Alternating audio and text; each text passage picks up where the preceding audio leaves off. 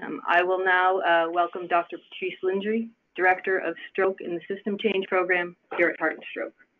Good morning and afternoon, everybody. Thank you so much for joining us.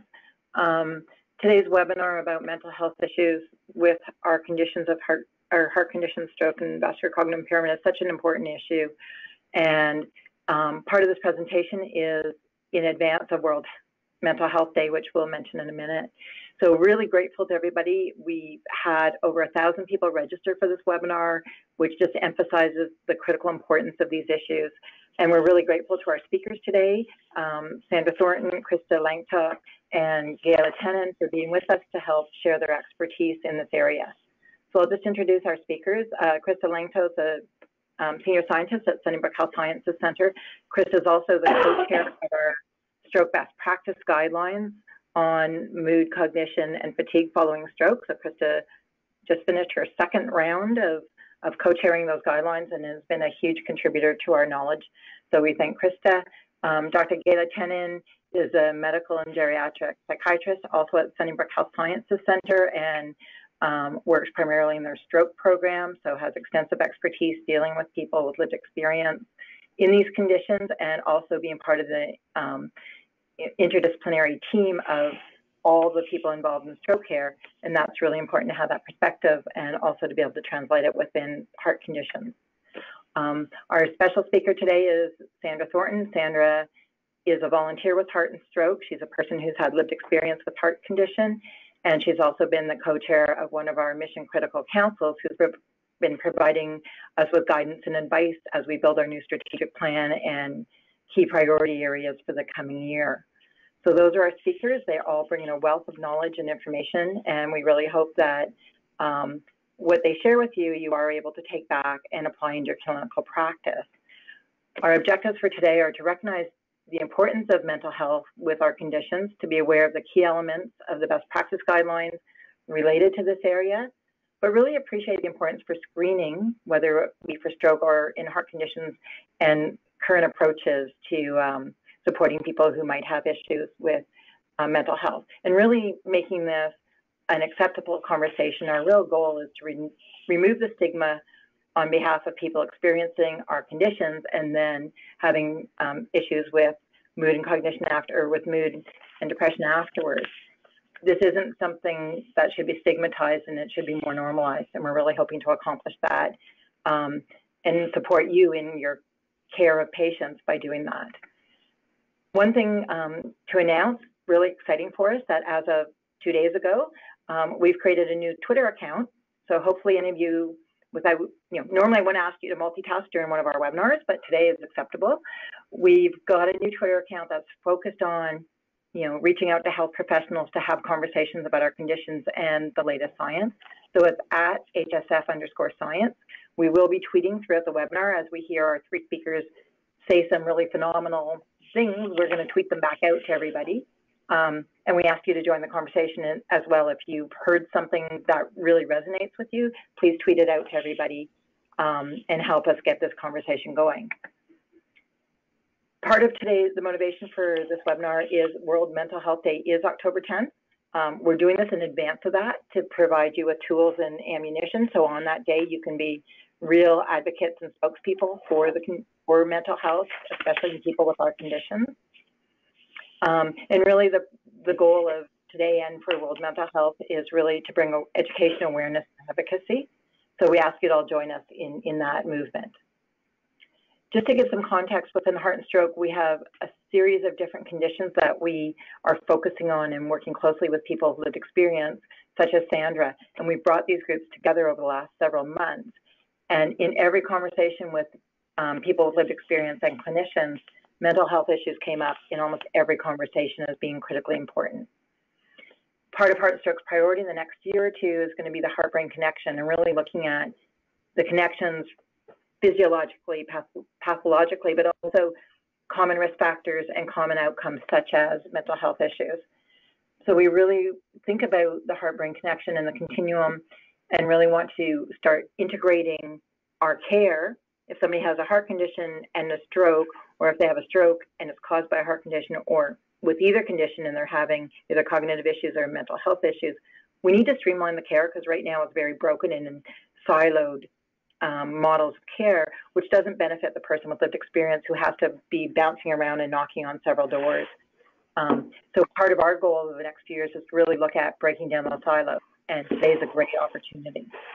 Within stroke, we know that the numbers of people with stroke are staggering and getting worse, with heart disease as well. With heart failure, the numbers are on the rise, and with our aging population, that's only going to get worse.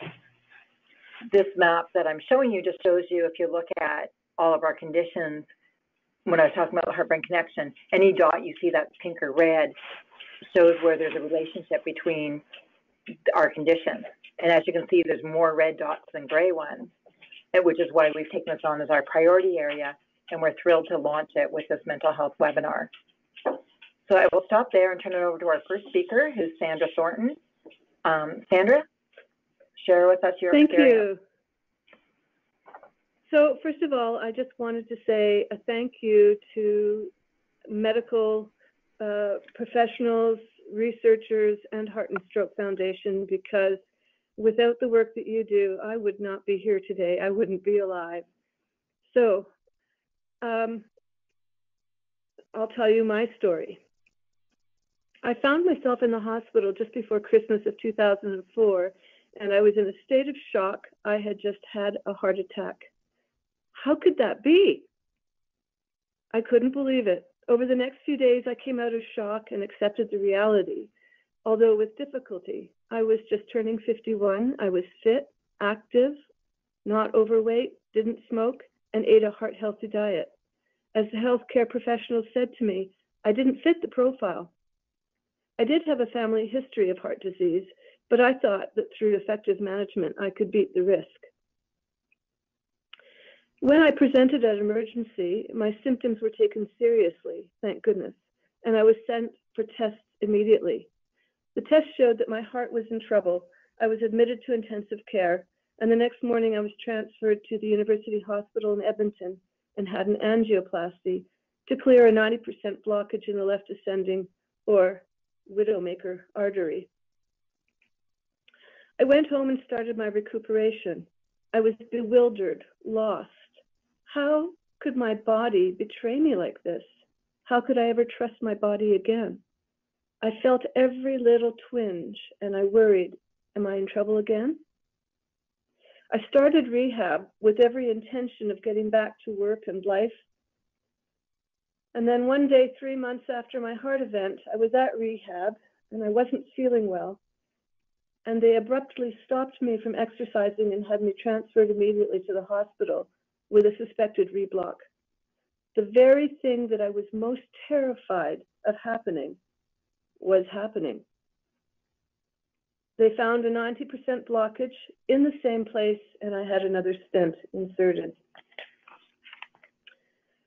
I returned home and back to my recuperation, but now I was struggling even more with trusting my own body. Looking back, I realized I was deeply disturbed by the chain of events and I probably needed support beyond the wonderful help that I got from my family. It took me a long time to recover, both physically and mentally. I was off work for six months, and even when I returned to work, I didn't have my confidence back. This was uncharted territory for me.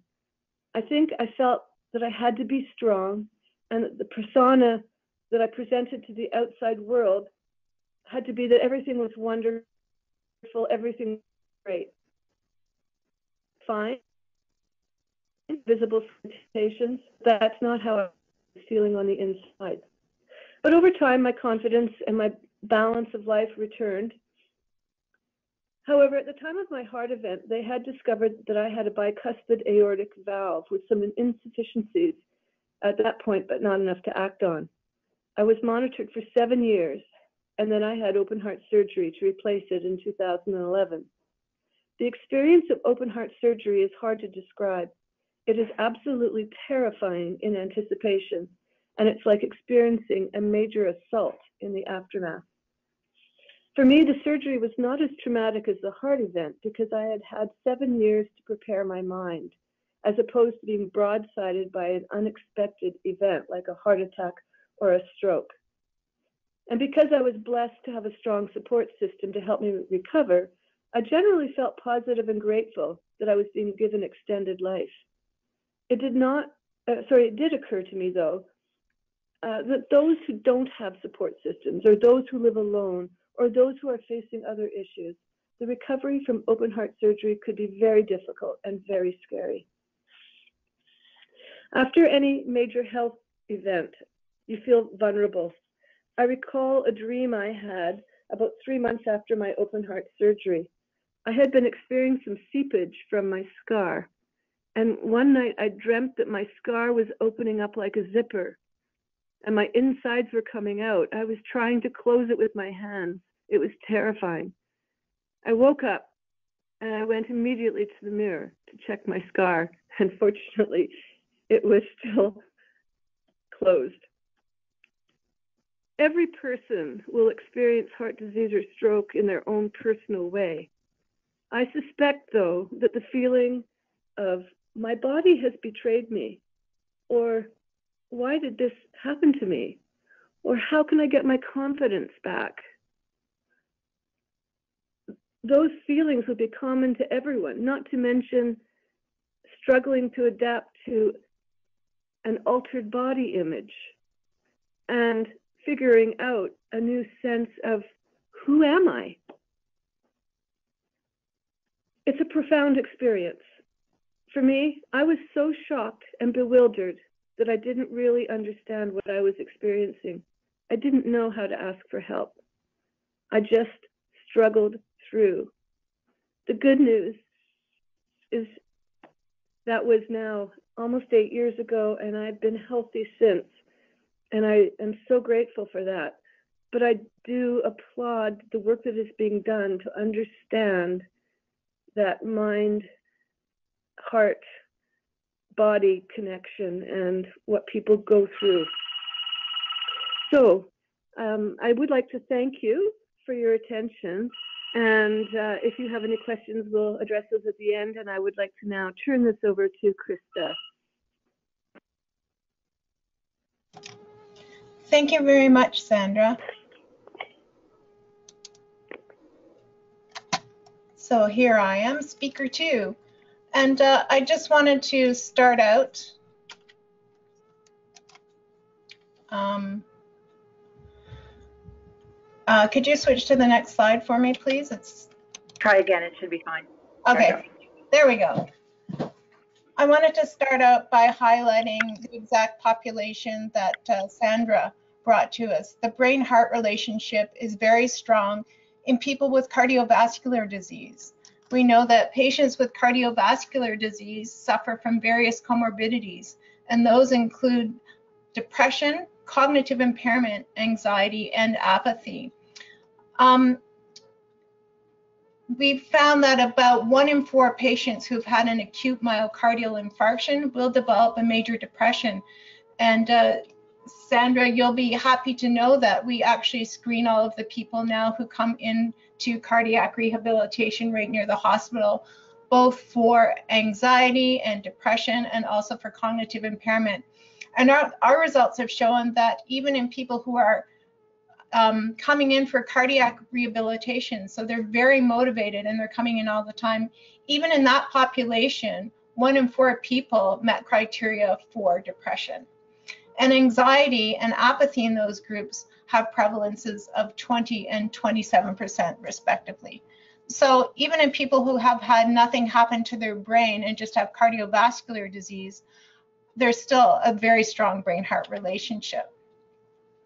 So in people, the problem with that is that they have a negative impact on recovery. For example, in people who meet uh, diagnostic criteria for a major depressive disorder, we found in our cardiac rehab patients that the outcomes were poor. So poor cardiopulmonary fitness and body composition outcomes were found in people even if they completed cardiac rehab. So even if they did all the exercise and showed up for all their classes, people with depression had uh, less improvement in their fitness. They were also more likely to discontinue cardiac rehab and less likely to remain adherent to cardiac rehabilitation. And when you compare people who have these depressive symptoms to those who don't, in one group, post-MI depression, so after a myocardial infarction, increases your risk of all-cause mortality, cardiac mortality, and cardiac morbidity. And that's been shown in the literature to be a doubling or tripling of risk. In people who have cognitive impairments, even if it's mild and they don't meet criteria for vascular cognitive impairment, small degrees of executive dysfunction or poor verbal memory performance is associated with poor cardiopulmonary fitness in those with coronary artery disease and an increased risk of non-completion. And we know that an estimated 5% of Canadians over 65 years will have evidence of vascular cognitive impairment. And this is the group that has them, those with the cerebrovascular risk factors. We see almost the exact same profile when we look at people who have heart failure. So the prevalence of mental health issues in those with heart failure for depression, a meta-analysis of 26 studies showed that again, you're expecting about 25% of people to have it. So in this meta-analysis, 21.5% of people with heart failure met criteria for depression.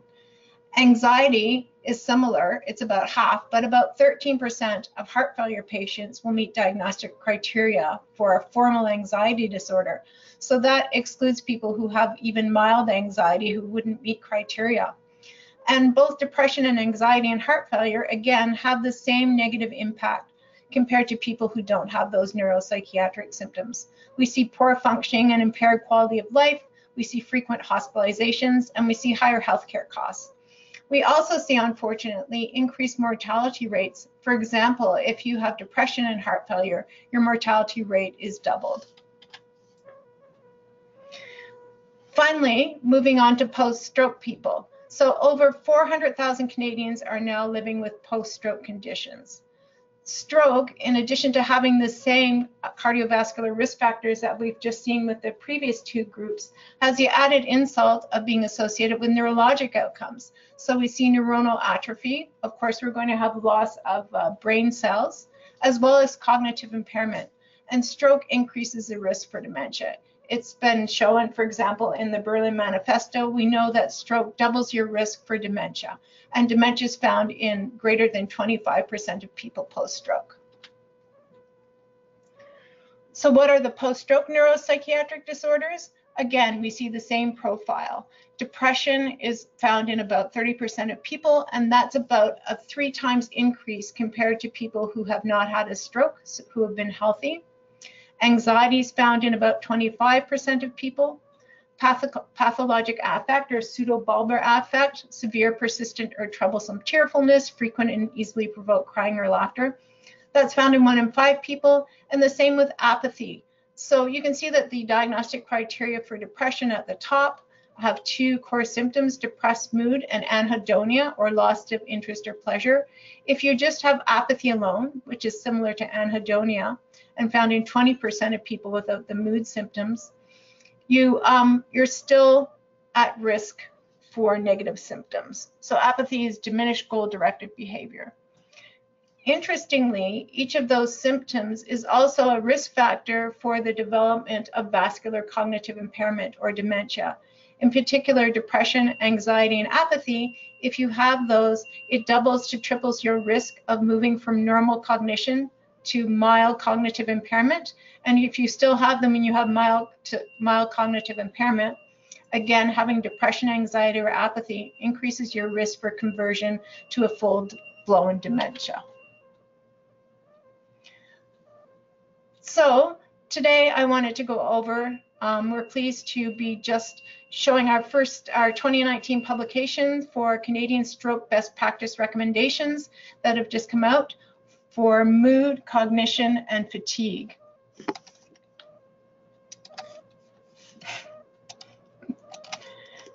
And um, there's three main points that that publication makes. First of all, following stroke, 20 to 50% of people are affected by at least one of those conditions. So that shows you the high prevalence. The second point, if is that if they're not recognized or treated in a timely manner, these conditions can lead to worse long-term outcomes. So again, bad news, but the good news comes in the third point. these uh, best practice guidelines emphasize the importance of timely screening and assessment and initiation of treatment across the care settings.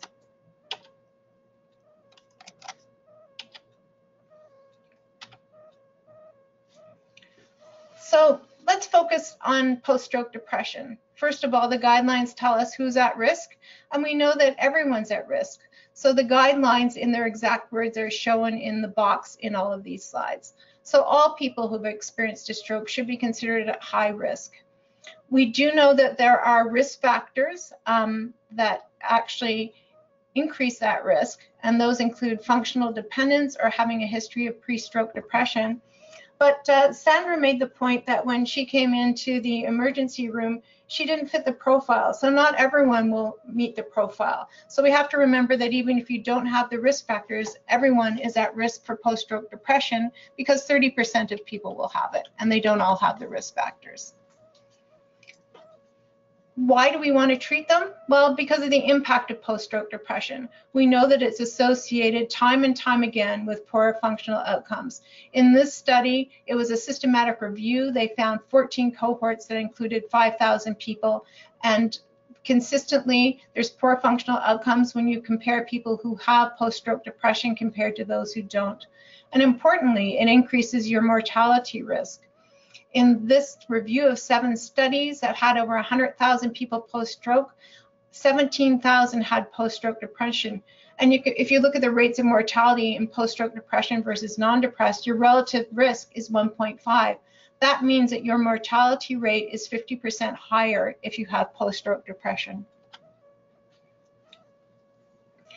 So that tells us that we should be screening. So let's look at screening versus diagnosis. So here are the guidelines for screening for post-stroke depression and then assessment for post-stroke depression.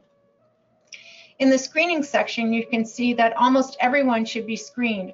All people who have experienced a stroke should be screened unless it's medically inappropriate. And if screening is positive, the next step is referral to a healthcare professional, someone who can have expertise in diagnosis, management, and follow-up for the depression. It's very important, of course, because we have interventions that have been shown to work. There are both non-pharmacologic interventions and pharmacotherapy that can be used to treat post-stroke depression. For non-pharmacologic management, cognitive behavioral therapy or interpersonal therapy can be a first-line treatment for depressive symptoms. Um, psychotherapy in, as an adjunct to antidepressants also has level A evidence of randomized placebo-controlled trials that shows that it improves depressive symptoms. For pharmacotherapy, the first step if you have mild depressive symptoms or minor depression would be watchful waiting. But if it continues or if it's moderate to severe, there's strong evidence, level A evidence, that antidepressant medications work antidepressant medications improve depression, and they also have some evidence that they improve motor recovery after stroke and improve mortality rates compared to people who have depression who that's untreated. And finally, the more contentious issue has been prophylaxis with antidepressants. If antidepressants work and uh, a lot of people get depression and everyone's at risk for depression, why not just treat everyone with antidepressants? In the current guidelines, um, routine prophylaxis is not recommended. And the reason for that is that their impact on function isn't clear.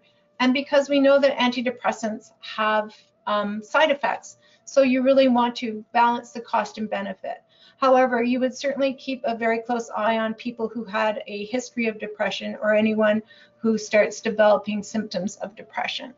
So those are the guidelines. But now I want to introduce Gayla Tennen because she's the one who's in the trenches and dealing with these people, and she's going to talk to you about how these guidelines are applied in real clinical practice.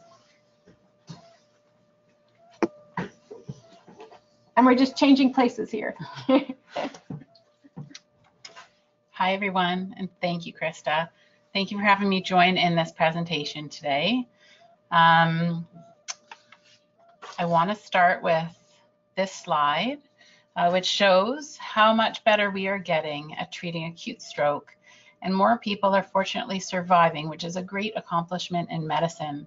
However, as already mentioned, we have many, many Canadians living with the effects of having a stroke. And our hope is that we can all get better at helping them with these ongoing effects. And it is the emotional effects that I will focus on today for this talk.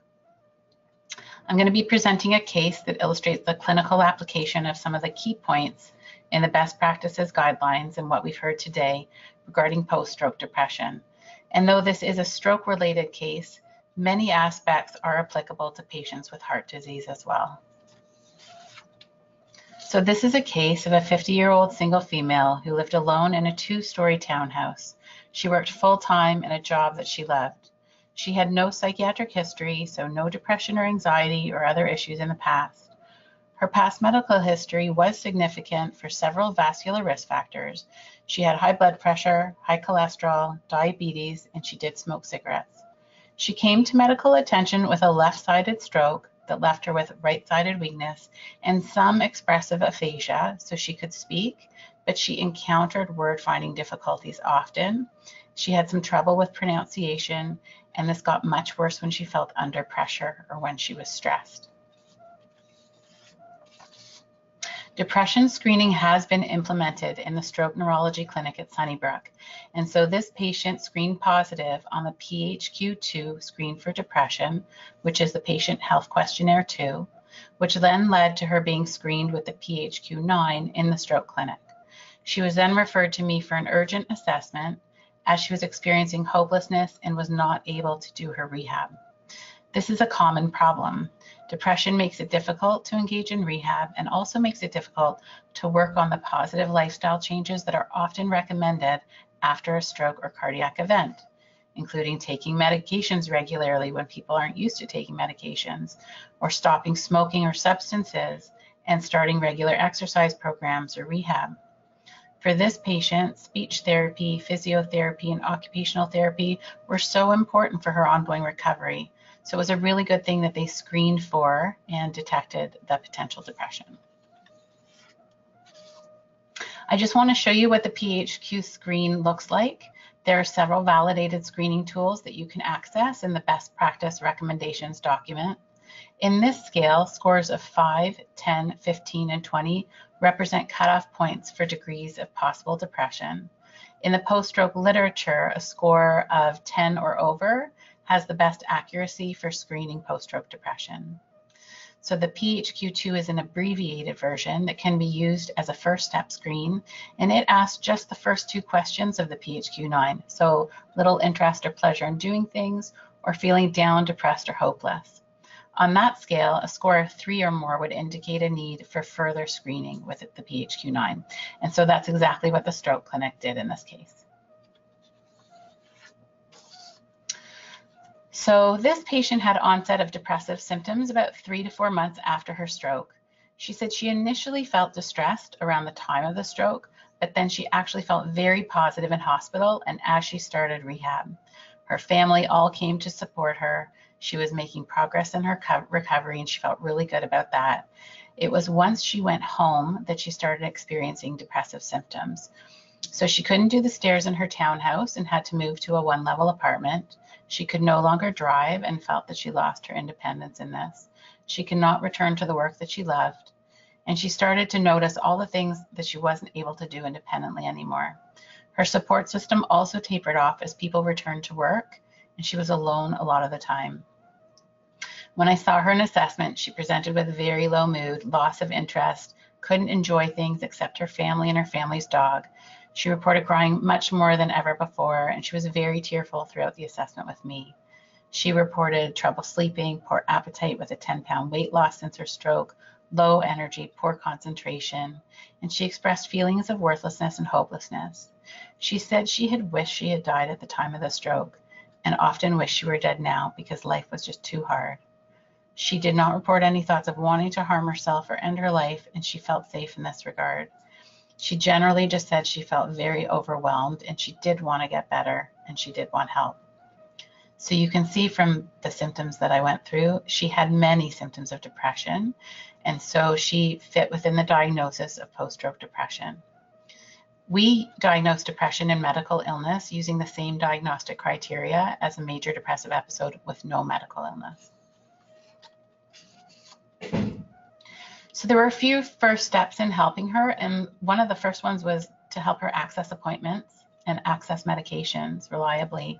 So she um, was having trouble with Wheel-Trans to come to appointments because when she felt pressured on the phone with her aphasia, it became a real barrier barrier for her to communicate effectively. Um, if it were today, we could also potentially do telemedicine appointments, but that wasn't available then. Uh, my office helped her to arrange medication delivery from her pharmacy because that also proved difficult to be reordering refills over the phone. We discussed treatment options to see what she was interested in pursuing, and she really was motivated to try everything. We spent time providing education about post-stroke depression and the treatment options, as all of this was very new to her. It was important for her to hear that we treat depression as a medical illness and not we don't consider it as a personal weakness or a character flaw, which I think it's pretty common that people do think that there's something wrong with them personally if they feel this way. So that was helpful to her. We also looked at optimizing medical conditions that could be contributing to her mood state and fatigue, and this involved liaising with other members of the team, her family physician to check her low ferritin level, which could impact her mood and energy, her stroke neurologist to reevaluate an anti-seizure medication that had mood side effects, and they didn't think that she actually needed the medicine anymore. We also tried to link her to a social worker to assist with disability insurance steps, which she was quite overwhelmed by and couldn't take those steps on her own. She clearly had a diagnosis, diagnosis of depression and it was quite severe. So I didn't think that watchful waiting was a reasonable option in this case. And she was also receptive to a new medication trial. No one drug class has been found to be superior for post-stroke depression treatment.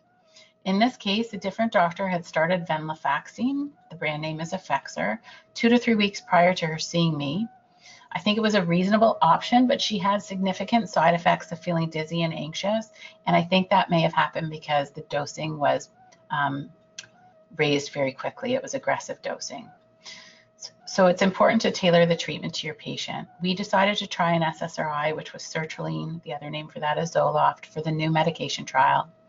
The saying start low, go slow, but get there applies to many of our patients with medical illness, and they often benefit from that approach. So I prepared her for potential side effects, the likely dose increases that we would need to go through, and that it typically medicine takes weeks to work. I also warned her about rare but serious side effects, which we'll touch upon in a minute, and I saw her regularly in follow-up. So it's important to be aware of and inform your patients of potential medication side effects, which can help with their understanding and also with medication adherence. Generally, the medications that we use to treat depression and stroke are safe. The common side effects tend to resolve like GI upset, headaches, sleep changes. Sexual side effects tend to continue ongoing. The patient should be informed about rare but serious side effects and they should be monitored for these.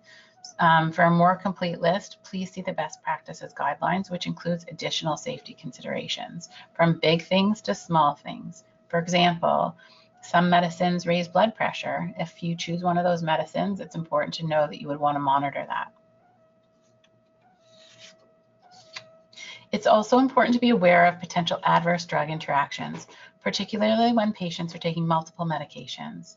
Antidepressant medications that pose the highest risk of interaction affect several metabolic pathways. And so you can see the boxes of those with the highest risk of interactions and the lowest risk of interactions based on what they do in the metabolic pathway for medications. I also want to mention that though many of our patients are moving towards other anticoagulation agents, for those that take warfarin with its narrow therapeutic window, it's important to monitor their INR levels closely during antidepressant dose changes, and that includes when uh, medicine is initiated or tapered and discontinued. Getting back to the case, along with medications, we integrated psychotherapy. She had many losses, losses to process, and some of these, um, Sandra, what you were saying, some of those really resonated uh, in what I heard from her too. The why did this happen to her? And how can she trust her body and with every little twinge how does she know that she's not headed to um, you know a new dangerous medical event um, she had various challenges to work through, and we also worked with cognitive behavioral therapy or CBT strategies to address some of the negative thinking and fears. So along with pharmacotherapy and psychotherapy, we pulled in a lot of added factors to try and help her. Um, she took a mindfulness course, which helped her to learn strategies to help her be in the moment and to manage stress positively. She worked on a stop smoking plan, which she knew was a healthy, important thing for her moving forward. Getting out and walking and eventually swimming was very empowering. It relieved stress for her and it really made her happy because she loved how she felt in the water. Sleep hygiene was another important element in her recovery and it also assisted her energy levels. Reconnecting socially helped her sense of isolation and finding meaningful activity helped her feel like she was being productive again. This patient was very dedicated to her recovery and was able to re-engage in rehab as a result as an outpatient, and she ended up doing really well. So this is a success story in detection and treatment of post-stroke depression. I want to just touch upon a few overlapping conditions uh, that are important to be aware of for your patients. So Krista already touched upon some of these. Uh, anxiety frequently occurs following stroke, and it's also very common in cardiac patients.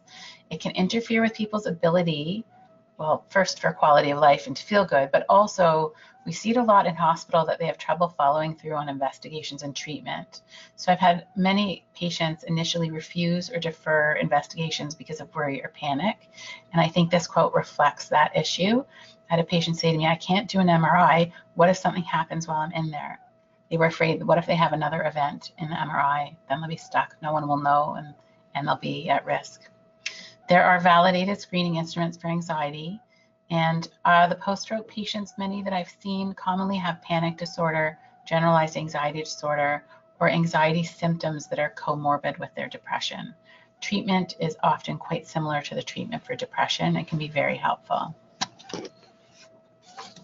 Pseudobulbar affect is referred to by several other names as noted. It often prevents as frequently frequent and easily provoked crying, less commonly laughter.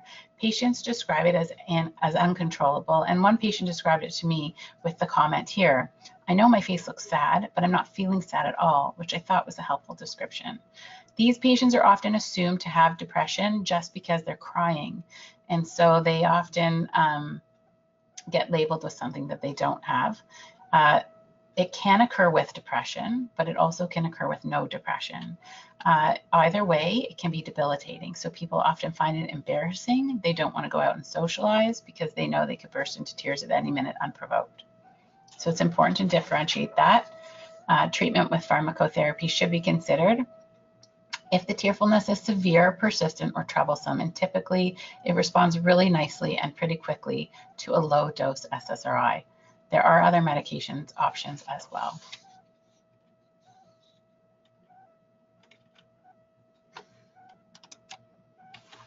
I'm just going to loop back a bit to apathy, which Krista was talking about. So a loss of motivation, concern, interest, and emotional response. Oops, I'm going to go back one.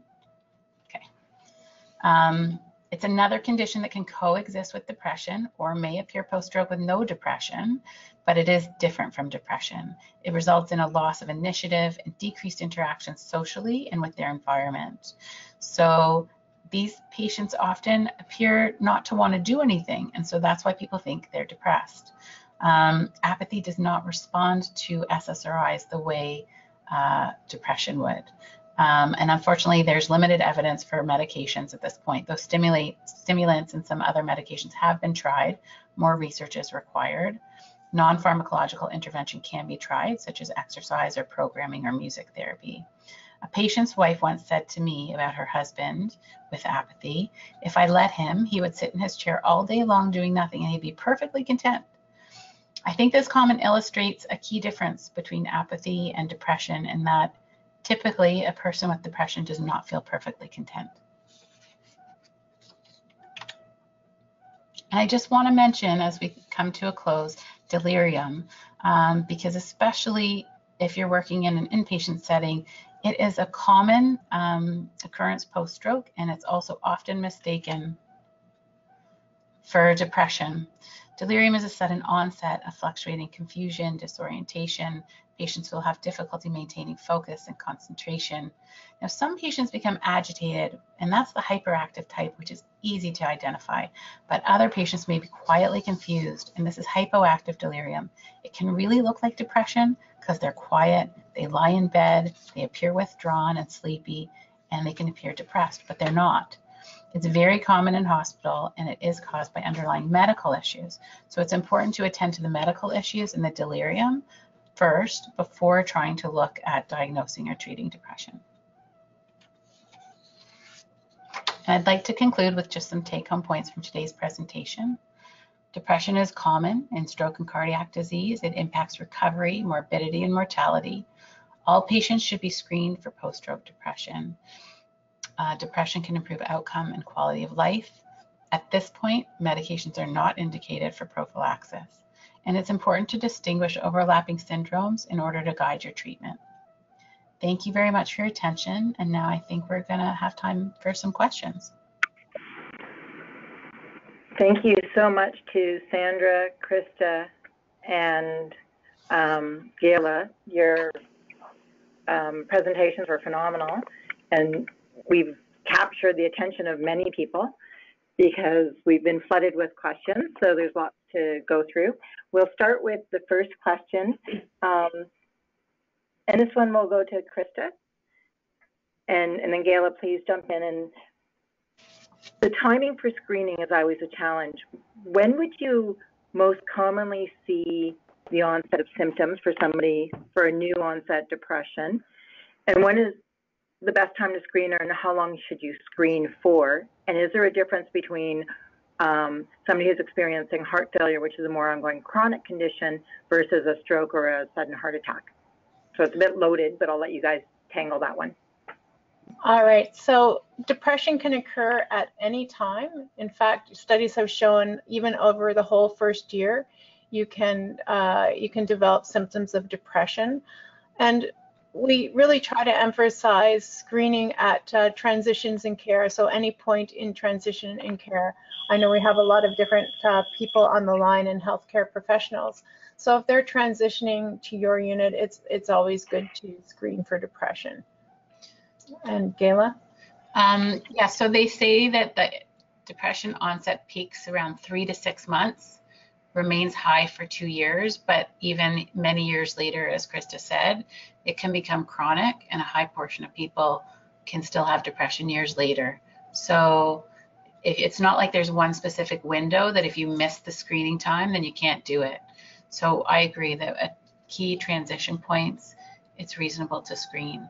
And if you think about that PHQ2, that takes it's just such a brief screen.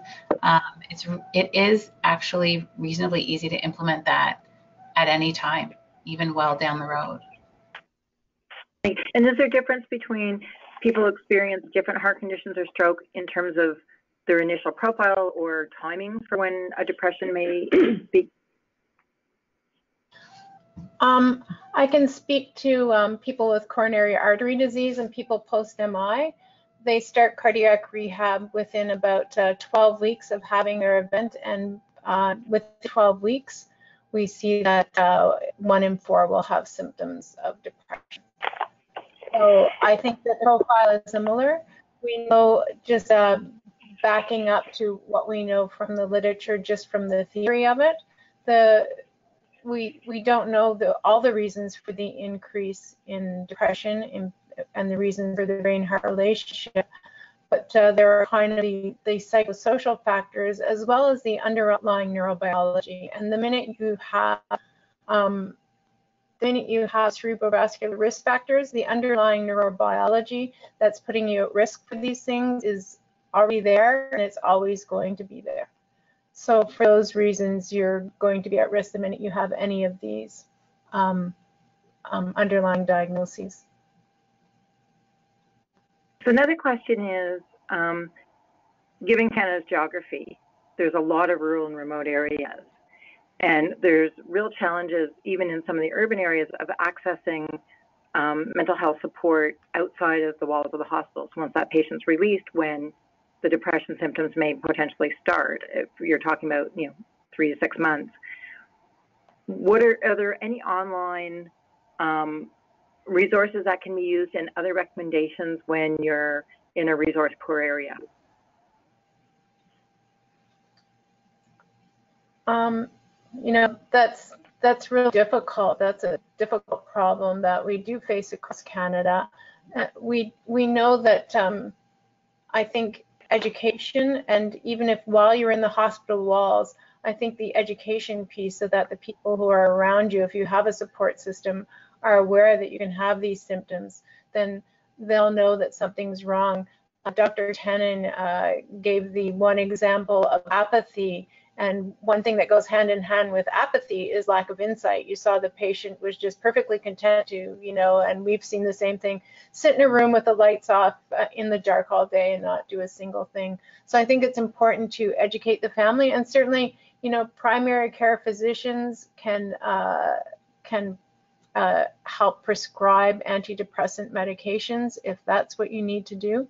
So antidepressants can be handled by primary care and we have you know, nurse practitioners that you can see who can, you know, uh, help monitor the patient once they're on an antidepressant as well and play a big role. The pharmacist can also play a big role in counseling people on antidepressant medications and interactions and what side effects. So I think we have to, in the absence of, you know, some of the things that we're privileged to have here at Sunnybrook, we have to reach out and look at the community supports that are available to those people. Yeah, I agree with that. And I would also say that um, online, there are some resources. Certainly the, the Heart and Stroke website has, I think, a lot of resources for patients to look at. I know there's the, um, the stroke resource book for stroke in young adults that um, that's one resource that can help provide education and support for people and families as well. And, and I think the more patients and families that are aware that this could possibly happen down the road and that it's part of the medical situation and not just something that you'd expect everyone to have because they had this horrible thing happen, um, the more they can be encouraged and wholly empowered to speak up and get help to say, you know what, this looks at that depression thing that I was told about and I'm starting to feel that way and I need help for that. I heard there's treatment. And so then hopefully they can um, really take that and run with it in their care to try and get what they need. That's an important point, and it also helps emphasize that the depression is not the patient's fault. It's not that they're not trying. You know, I think we have to remove the stigma from it, and you know, that's something that is available from the Heart and Stroke Foundation website that says that it is part of what happens to a certain proportion of people when they have a stroke. It's not that they're, it's not their fault. Mm-hmm. And just building on something that Gayla just mentioned, one of our questions was around age. Is there a higher prevalence of depression or apathy in one age group versus another as we're seeing younger people with heart conditions and stroke um, coming to us? Is there any, does age play any role in this? It's a great question.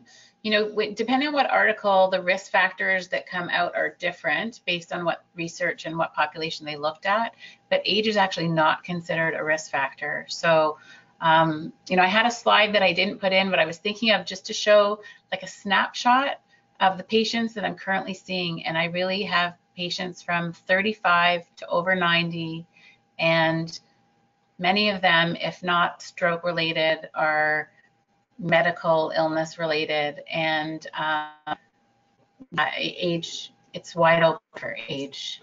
Um, and then as far as, what was the second part of the question, the age? Oh, for apathy, I don't know if apathy is as broad on age as depression is. I seem to, you know, think it's more higher risk in older patients who have more cognitive impairment. Um, but that's not necessarily, that's not a given either. Okay, so here's another question. Just, Sandra here, I'd like to just add something. When when um, when we're talking about resources for the individual, um, there is the Heart and Stroke Facebook Survivors Group, and I think that that's a really it's a, it's a great group for um, people, particularly those in remote locations, to be able to connect with other survivors and find out what they're going through is not unusual. They're not alone, and they often receive good advice from their peers uh, when they need to get help or get something checked out. Thanks, Sandra. And, and I was want to pick up on some other points you made and, and direct these um, to Gail and Chris to get your input. Sandra mentioned the importance of peer support and how her family was such a big, you know, she had the support of her family and, and friends around her, and that there's many people who don't have that. So one of our listeners has asked, is there any evidence about, you know, we talk about pharmacotherapy and talk therapy, talk-based therapy, or is there any evidence for peer support and social support beyond, um, you know, formalized talk therapy in terms of supporting depression and, and recovery? Um, we we intuitively all recognize that it helps. With respect to actual evidence, it's difficult to, you know, you can't randomize someone to, you know, have good family support and not have good family support to, some extent. So there isn't real hardcore evidence for that but I would think from experience, we we recognize that uh, peer support and family support are incredibly uh, effective for people. Um, Dr. Tennen, do you have comments on that? I, I totally agree. sometimes we do look at the evidence too much when you just know intuitively is a person who thrives on social connection, who's isolated, getting them back to social connection will absolutely be important for their recovery and wellness. And also, when we think um, just about a healthy aging brain in general, one of the things we talk about is stay social, stay active, stay stimulated. So there's evidence in those, you know, that's more of dementia and aging brain literature that it's a healthy, positive thing to do. Another really important question that's come up is related to aphasia. So we know that many people with stroke, you know, up to a third are at risk of having aphasia and the inability to speak. Oftentimes they're assumed to be depressed because they can't communicate. What is the best approach to people with aphasia to ensure proper screening and assessment? So in the best practice guidelines, there are a couple of um, validated tools that you can go and look at. Uh, one of them is called the SADQ, and instead of the patient um, filling it out themselves, it's based on an observer report. And so they will ask things like, are they frequently um, bursting out in tears? Are they having trouble sleeping and restless at night? And so they end up gathering information based on observations if the patient isn't able to communicate verbally themselves. Um, we do see a lot of people improve with with speech therapy and some time. So, um, you know, sometimes it's a bit of a guessing game at the beginning. Um, and then hopefully over a little more time, even just a few days, you can sometimes glean a little bit more directly from the patient. But they do have validated tools that you can use that can be very helpful in guiding how to treat them. And then our last question, because we're out of time, but we're everybody's got lots of questions they've been sending in. Gilly, Kristen Giller both mentioned that um, when people start feeling depressive symptoms or apathy, it interferes with their recovery and their rehabilitation participation. One of our listeners is asking if you've picked up their emotional issues, should you stop and treat those first before you enter them into rehab and delay their entry into cardiac rehab um, and deal with the emotional issues first, or do you try to do them in tandem? So I think that's an excellent question and one that doesn't have um, one blanket answer. I think in that case, it's case by case because it depends on uh, the severity of their symptoms and um, also their level of motivation and also their level of residual medical problems that they're dealing with. So, and their supports, like there's so many things that go into that. So there are definitely people who are so severely depressed you know, it's just of such a push for them to get out of bed and make it to their medical appointments that for them, it's better to um, try and postpone rehab until they start feeling a little bit better so that when they go, um, they can have a chance of getting integrated in it and engaged. There are other people who, when they're not totally severely depressed and can kind of, they may not enjoy it, but they could push themselves to do it. Um, then I would say do it because sometimes you you really don't want to hold off on something that's so important to their recovery. by doing it alone, they'll that will often help them feel a little bit more empowered and productive and like they're doing something positive for their health. So that can be something that is helpful actually for helping move their mood forward. So when possible, we like them to go in tandem, but sometimes we have to say, this is just going to be more pressure and more overwhelming, and we try and hold off a little bit until they're ready to handle it. So that's a case Thank you. kind of thing. Thank you so much. Um, so I think we'll end it there. Sandra, I'm going to turn it over to you to give us the last word. What, what is your message to everybody, you know, the healthcare providers that are listening in today? Oh, gee. um, well, I, I think that uh, there seems to be a growing awareness of the fact that people are dealing with what's happened to them on many levels, not just on a physical recovery. And I'm very, very heartened to see that um, that that shift is happening and that people will get more support and and feel that they're not alone as they work their way through their recovery in their own way. Excellent, thank you, and thank you all. I mean, Gail, Sandra, and Krista, you're all phenomenal. It's been an excellent presentation, and everybody stayed on right to the end. Nobody dropped off, which is a real tribute to all of you. Um, just to wrap up for everybody who's listening, further questions can be submitted at stroke best practices at heartandstroke.ca, and we will do our best to address all the questions that have come in. Um, there was just too many more for, than us than we can get a hold of. This webinar has been recorded and will be posted on our best practice website and on our Heart and Stroke professional education website over the next few weeks. Please, when you get the um, notice about the evaluation, to complete those and let us know what other topics you'd like to hear this year as we plan our, pro our um, program for the year. And if you do need a certificate of participation, those are available at the end of the evaluation. You have to do it to get it.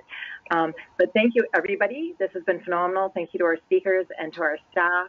And we really hope as you know, with World Mental Health Day, but beyond that, it doesn't have to be just one day.